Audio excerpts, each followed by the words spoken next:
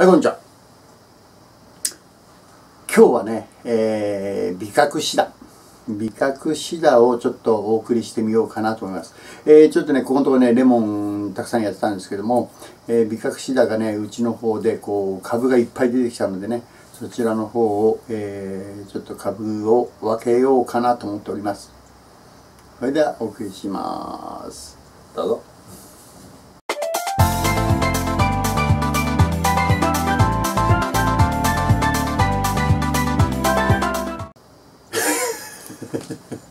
怖い顔すんなってね。あの、今日は、ちょっとしばらく前に、あの、市場に行って、えー、買ってきたもんなんですけども、市場でもね、自分ら、あの、ライセンス持ってるので、市場に入れるんですが、この美覚シダの、これ、ネザランズ。ネザランズっていうね、あの美覚シダなんですけど、えー、これがね、ちょっと株が相当出てきてしまったので、ちょっとこれ株分けをしながら、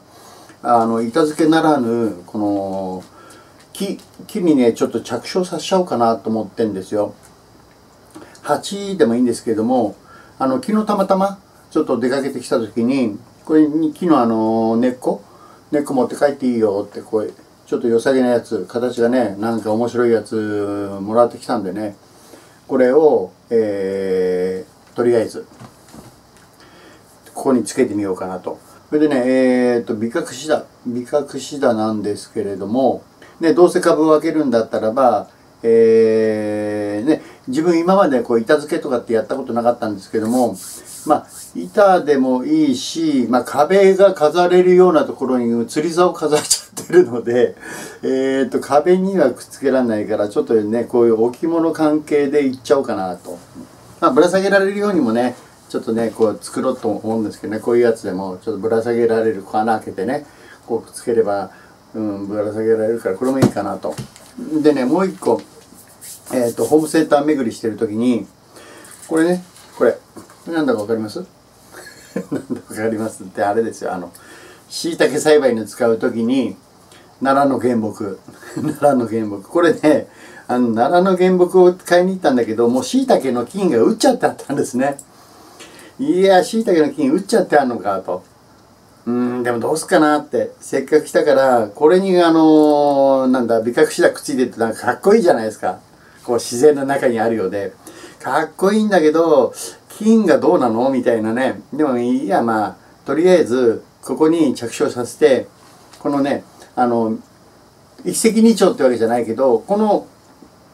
えっ、ー、と、椎茸の原木も、これは水につけて2年ぐらいかかるらしいんですよ。2年ぐらいかかって、あのー、だんだんこう椎茸出てくる。ね。ちょっと異様な感じですけどね。これあの極端な話美覚したここにねポンとくっつけて着床できたらこういうとこから椎茸出てくるとね なんなんこれってなるかもしれないですけどね。まあとりあえずこれもね一つ作ってみようかなと思ってるんですよね。でねあのー、まあやったことがないのでとりあえずあの他の、えー、YouTuber さんやってるのね見よう見まねでやってみようかなと思いますのでご覧くださいね。えー、っとねまずは、えー、まずはですけども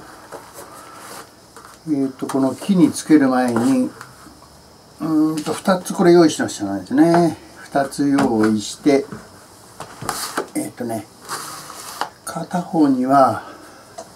片方にはこちらにはね水苔水苔をまず入れておいて。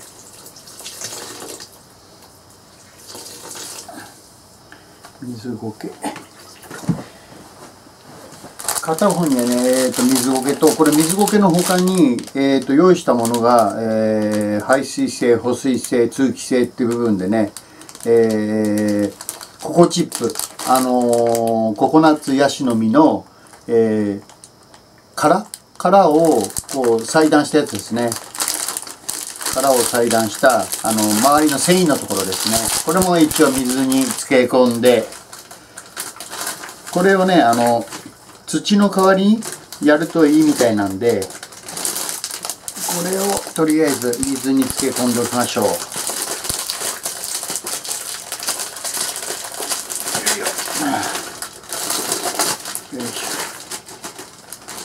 とりあえず今水に漬け込んだやつね。水に漬け込んだ、えー、っとココナッツ。ココナッツの殻ね。殻を水で浸したやつ。水で浸したやつね。これを、えー、っと土の代わりに。よいしょ。よいしょ。えー、っとねそれとですね今日は今日は少々大掛かりにいきましょう。